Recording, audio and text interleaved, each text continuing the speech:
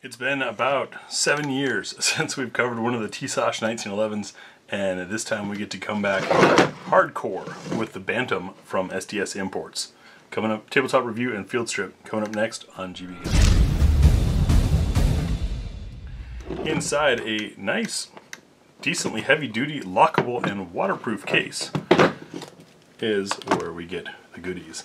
Uh, you get a nice um, forget the name of this material. Uh, very nice soft cleaning cloth. The gun, two magazines, one on the gun, one here. We've got a disassembly tool. Up top we have our lock, brush and cleaning rod, and the manual behind here. And since there's more than one way to field strip a 1911, and I've sometimes been criticized for not doing it like it's done in the manual, I'll follow the manual this time. I went flipping through here. I did not see whether or not this is plus P rated or not. Uh, my particular example is 9 millimeter. Why 9 millimeter? Well, because four and a quarter, quarter inch barrel is quarter inch more than most ammunition was made for, so you get an extra velocity, extra power out of it. They're also a load of fun to shoot if you ever shot 9 mil out of an all metal gun. Um, the manual itself is very cleanly and clearly done. Everything's pretty easy to read um, including a full breakdown here. Let me get this stuff out of the way and we can go over the gun itself. Ain't that pretty? Look at all those cuts. Lots of lightning cuts on it. It feels really nice in the hand and clear. Check magazine ejection real quick and you can see it's still giving it some kick, which is nice. The two mags that it came with, came with are uh, Checkmate mags. I've not used Checkmate brand before, but I do know that with 1911s, especially 9mm 1911s, the magazine is usually what makes the gun run or not. So uh, when we take this to the range, I'll grab my pile of 9mm 19 mags and we'll run a what's for dinner mag compatibility test through it. Back to the Bantam. What is a Bantam? Well, a Bantam is a category of chicken, or duck as it turns out, never heard that before, that is abnormally small uh, for its species or type. And this bantam, which is also very lightweight, is the other aspect or use of the bantam word is for something lightweight. You can see there's lots of machining. We've got uh, an aluminum frame and lots of machining out of the steel on the slide and even some flutes on the chambering of the barrel to cut down weight on this thing and it it's really lightweight you guys can see all the specs in the article but it uh, it has that 1911 feel but not that 1911 anchor kind of feel. It's still got some heft, it's still all metal, um, which feels pretty nice, but it's not silly heavy, if you will. Also has that Ed Brown bobtail cut, which I really appreciate. It's what made me so excited about this gun, because of that meat right there. That flesh on my hand on a straight backstrap on a 1911 always gets dug into by the gun, and you can see that fold just gives me some space to have it there. Um, it's a forged frame and slide. It's 70 series internals, uh, meaning it's minus one of the safeties later put, later put on uh, that 1911 purists don't like, partially because it can interfere with the trigger. This does not have that. Um, and it was hardened before machined, HBM. So um, really nice metal and metalworking, and you can tell that a lot of effort went into this. Uh, that part of that is what adds to the cost. Uh, this at the time of filming is going for around a grand, which for an imported 1911 is higher, but for a gun with these features is certainly not high. Uh, it's a great price. I also noticed in my initial handling that these uh, G10 style grips here, this channel, this relief for the thumb that's usually there on these grips, comes all the way through it's actually functional. My thumb can pass through there to get to the magazine release, which is great. Most of the time you end up with a, a, depression here, and then this part's solid, and it's just kind of a gesture of a relief. This is a, a true relief, which is nicely done. Let's take a look at the other features of the gun. We've already shown that it's clear. It's not front. We've got our traditional bushing, and a fiber optic front sight, uh, unrailed, which is as most 1911s ought to be to be more traditional, even though this is far from a traditional gun. And these lightning cuts here, which can serve for checks, but I'm a grab it over the top kind of guy, and there's plenty of grip back there. Even some nice styling cuts here They're a little bit far forward for my hands to serve as a traction point or memory point, but they look good. We have a little bit of undercut of the trigger guard and a skeletonized trigger and hammer.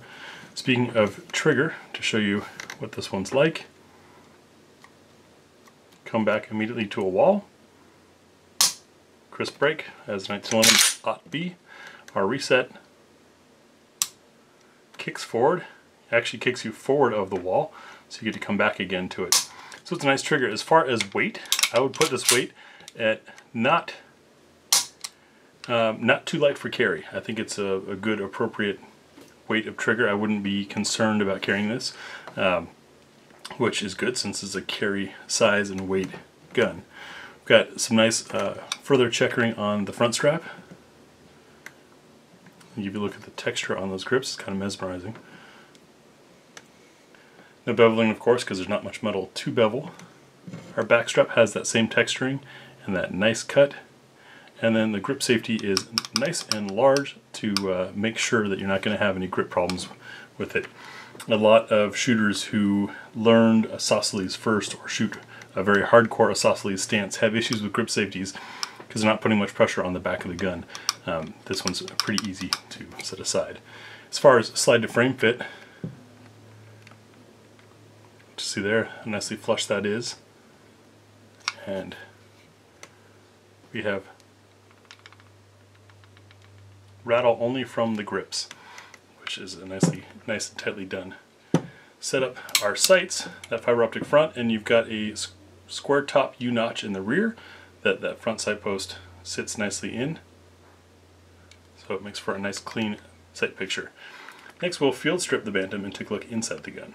Field stripping 1911. Oh, I tell you what, the comments on the videos where I've taken the slide off first, so tired of those. So guess what, guys? I'm to do it the old school way. Um, or the right way. The way. Never understood it. Like, if the gun comes apart, is it not field stripped? And if it's field stripped, is that not correct? We've checked for clear. We're to start by removing this barrel bushing. It can be done by hand. Tools like the one included make things a lot easier. You're to press down fitting this up against that bushing and give it a turn. You want to be careful not to let this little guy go flying. And you get the spring out. Next we're going to bring our slide back until, zoom in for you, that rounded notch there is above our slide stop. once all that's lined up, you're going to push on your takedown pin. You notice this is nicely beveled. That is a uh, another custom option or something that people usually pay to have done to the 1911 to make it easier to push out. That pin out, we can take our slide off the frame. There's our nice and short guide rod and our barrel. Whoops, get the bushing out of the way. Once the bushing is turned right, it comes straight out and the barrel can then be pulled out the front. If you look inside the slide, see it's definitely a 70 series, there's no extra stuff in there. Your manual safety is your safety.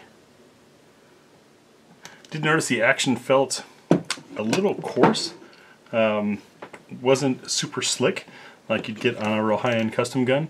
Might need um, some break-in or just a little more oil. There is some oil on these rails already, but uh, it's starting a little tight.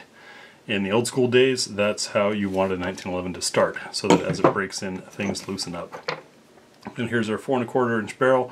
So we've got those nice lightning cuts inside. Tacti has made an appearance. Been a while for her. And a long feed ramp that is polished. As far as chamber support, as always, we're going to use some Nosler match to check that. And by the way, this Nosler match, uh, as boxed and seen here, is no longer in production. It's been replaced with their ASP, um, Assured Stopping Power, I think is what it's called. But it's almost the same thing. Slightly different projectile, but the reason why we use Nosler is their stuff is the most consistently made and loaded stuff that I've ever seen. So it works for chamber support check. What we're going to do is drop the round in, listen for a plunk. Sounded nice. Check to see how free it is. It can rotate. And no folks, I am not a gunsmith. These are just things that I've picked up after reviewing a few hundred guns and noticing things. And for chamber support, we're trying to see how much brass beyond that little shoulder there is exposed. Looking underneath, just a teeny tiny bit. If that's enough to consider it fully supported or not, I don't know. I'm not sure if there's a technical term for sure, but it's more supported than a Glock, not as supported as some others, but pretty good. Uh, the reason why you want that is you don't want your brass to expand. Um, and if your casing should fail, it's going to fail where it's not supported and then blast all that pressure goodness back into your hand instead of out the barrel. So this looks like a good barrel. That's particularly important if you're going to use uh, aluminum cased ammo or something that's been reloaded several times. Uh, we do shoot aluminum, but we do not use reloads. That way anything you see us do can be repeated uh, at home using factory ammunition, the same stuff that you see us put in there.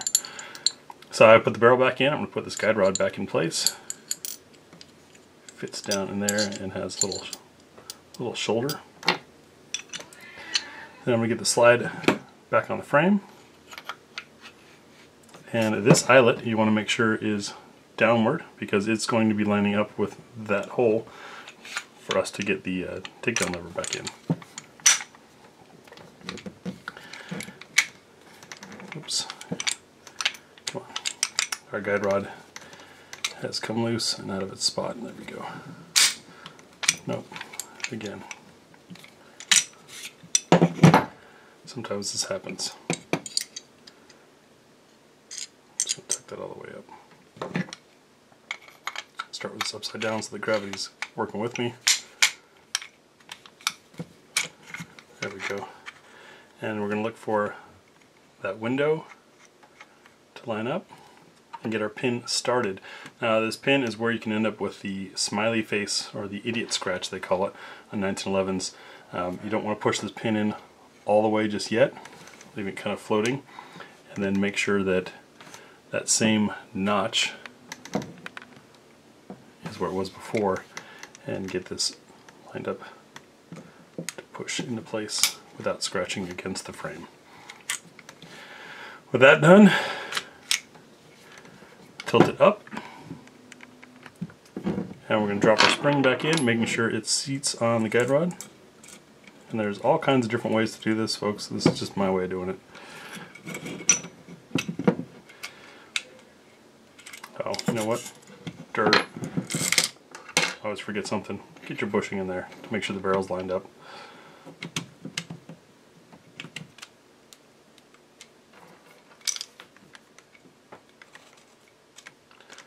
Have this turned 90 degrees so there's plenty of room for the spring in that end piece. There we go. And now push this in and hold it till it's flush so that the bushing can turn over it. And now it's back. So everything's back together. Do a quick functions check. Fires, trigger resets. And just for the heck of it, safety works. Really, really good looking gun. Nice size and weight uh, and barrel length to really be able to enjoy 9mm, which I'm looking forward to. When we get this to the range, you'll get cold shots, first impressions, which truly are first shots out of the gun. Then um, our full mag plus one, see how it runs, especially on these Checkmate mags. Uh, if you guys know of Checkmate mags, please share your experience with us uh, in the comment section. I've not run a lot of these.